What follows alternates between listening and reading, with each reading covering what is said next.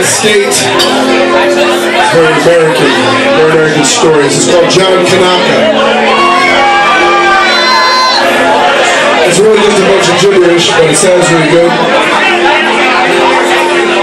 I heard, I heard the old man say,